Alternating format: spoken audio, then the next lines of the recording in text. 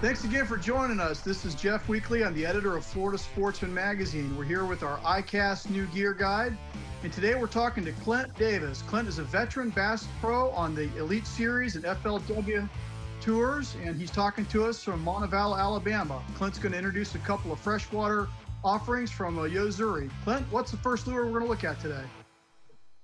Yeah, uh, you know, the first thing is the Yo-Zuri, the 3DB pencil popper, man. Uh, we, the whole pro staff, we work tirelessly on all these baits, uh, as well as Japan, and uh, I think we made a you know an awesome product here. Uh, a, this is a one ounce bait. We did it in I don't have it on paper. I think eight colors.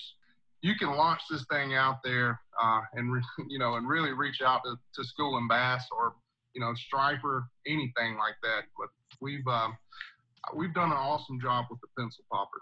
Now, now a, a, pencil popper, you can work it a couple different ways, right? You can you can make it spit, you can make it walk. What what are your uh, thoughts on retrieves? Yeah, you can. Uh, you know, a little sneaky when it sounds crazy is I'll actually, if I get to school and fish, I'll actually just fire this thing out there to them and reel it back, and it, it does a real tight cadence back to the boat. That's a that's a, a beginner's easy way of actually working this thing. Got it. Any recommendations as far as a kind of rod and reel setup or line? Is it you think it's important? You you want to use light tackle or heavier gear? You know, I throw this bait right here on 50 pound Yo-Zuri Super Braid. Uh, it's uh, you know, it's got really good hooks.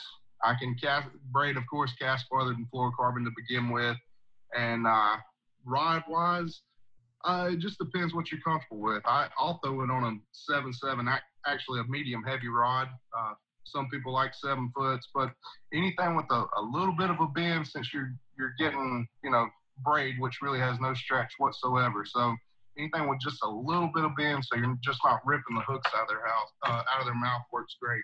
Got it. Now, Yo-Zuri is real well known for its high quality lures, and, and they've got some very competitive price points this year. What's what's uh, what's that that lure go for?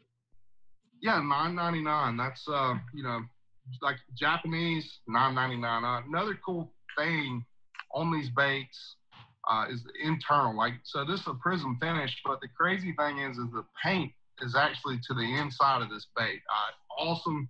You never, you know, you're, you're never going to scratch your lure up because the paint's actually built to the inside of the plastic. So you're, uh, yeah, you're never going to tear the paint off of it. If you do, you probably broke it and need to go buy a new one. So we've got the surface bite covered with the Topwater uh, 3DB pencil popper. Yo-Zuri also has some lures for fishing a little lower in the water column. Now, Clent, you've got a pair of uh, jerk baits to show us today. Jerk baits.